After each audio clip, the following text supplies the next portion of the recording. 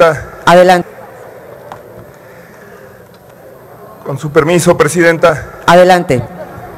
Hace prácticamente 80 días que no hacía uso de la tribuna, pero hoy se decidió conmemorar, honrar la memoria tal vez del más grande pensador jurídico, no solamente de México, sino de Latinoamérica, y uno de los más trascendentes en la historia de la humanidad de Mariano Otero, que nació hace 205 años.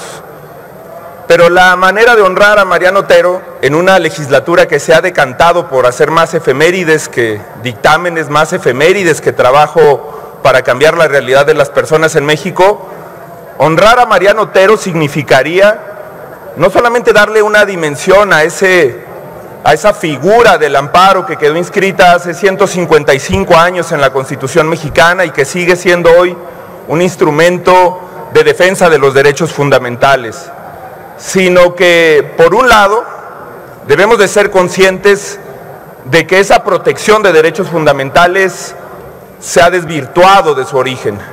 El amparo hoy es un mecanismo de defensa no democratizado, no horizontal, no simplificado, sobre el que se han hecho un montón de recovecos legales que dificultan el acceso a la justicia para millones de mexicanas y de mexicanos.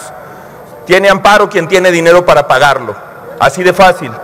Sale de prisión quien tiene relaciones, complicidades o mecanismos de defensa. Es increíble, pero hoy, hoy se revolcaría en su tumba Mariano Otero si conociera al gobernador de Veracruz que incorporó un delito con prisión preventiva oficiosa, con prisión sin juicio, como el de ultrajes a la autoridad, que han detenido a 1.033 personas en Veracruz por ese delito y que la discusión sobre esa violación a los derechos humanos desencadenó la injusta detención de nuestro compañero José Manuel del Río Virgen.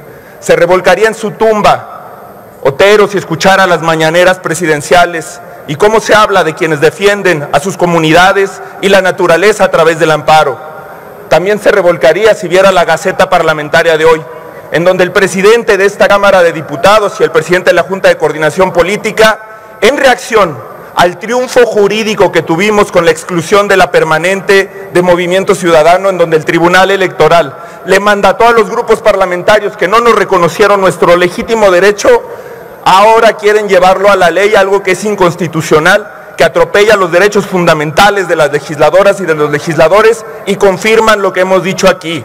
El primor gobierna esta Cámara de Diputados. Por eso vamos a seguir honrando a Otero en una lucha incansable por los derechos humanos, por el acceso efectivo a la justicia y sin rendirnos. Desde nuestros espacios vamos a seguir defendiendo los derechos de las mexicanas y de los mexicanos. Gracias, Presidenta.